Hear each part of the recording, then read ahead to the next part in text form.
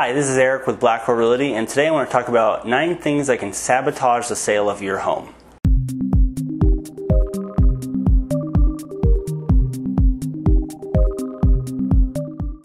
First of all, the annoying cords hanging from your flat screen TV that's mounted on the wall.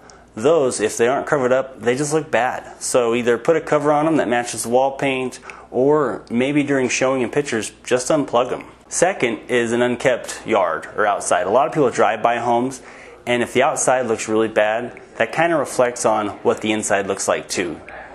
Third, a dingy door. Front door is the first impression also with that curb appeal. And often it takes 20 to 30 seconds for a real estate agent to get the key out of a key box. So a client may be standing there and just looking at that door. Take the time to repaint it. It can really help. Fourth, not cleaning up after your pets. I know we all love our pets and we have our pets, but nothing's worse than smelling pets immediately entering a home. So do the best you can to vacuum. Um, just trying to cover it up with a candle can be kind of obvious, but do your best to cleanse your home of your pet early on. Fifth are cobwebs and dust. Check the high corners, dust your fan.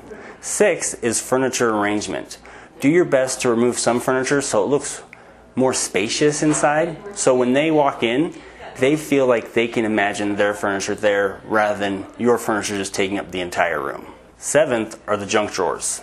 We keep these things packed full of stuff. Oftentimes, people, when they're walking home, they do open the cupboards, they open the drawers, and so not having them so packed can really help let that buyer imagine what they're going to be putting in that drawer. Eight are the overfilled closets. We all have lots of stuff, and we store it in the hall closet, our bedroom closet, maybe the pantry. So, another thing to do is declutter those. Um, obviously, you're already packing, so maybe take some of your clothes that you're not going to be using immediately, all the winter clothes if it's summertime, or vice versa, and just get them in a box early and put it in the garage. Last are the cluttered countertops. No one likes clutter on a countertop. We don't like it in our home, and a buyer doesn't like it in the home that they're prospectively buying. So clear everything off there. You know, some people leave a toaster, a coffee maker, a blender, everything on the counter at all times. Put some away. You might not be using them during that open house or during the pictures or even when someone's walking through. The more decluttered and open a space looks, the better it shows to a buyer and it lets them imagine their stuff there. It's these little things that help buyers imagine a space as they walk through it.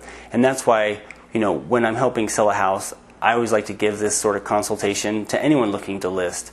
And also, you know, offering them advice on a stager they could use, getting discounts on storage, so they can get some of the stuff out of their house earlier so it looks more open and decluttered and depersonalized. Again, thanks for joining me on this conversation about how to get your home ready and not sabotage the sale of it. If you do have any questions, feel free to call at any time. Um, reach out in any way possible, and I hope when you sell your home, you do it the right way and get it decluttered. Thanks.